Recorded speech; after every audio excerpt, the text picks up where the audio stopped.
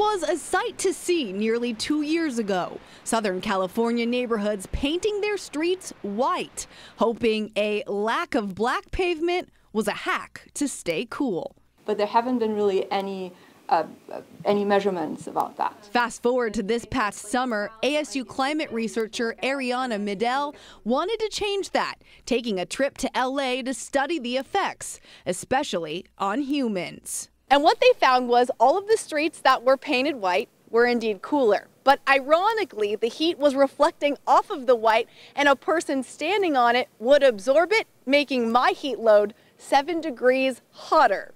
Middel bringing a team of students with her on the trip. Four people plus Marty. Yes.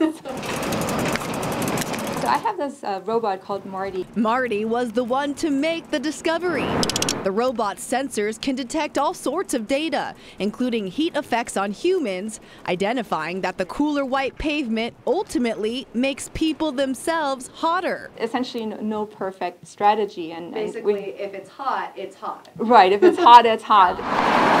And while black and white pavement has no black and white solution, Middel says just trying this out and seeing the effects scientifically is pretty cool. In Phoenix, that's still really hot. Brianna Whitney for Arizona's Family.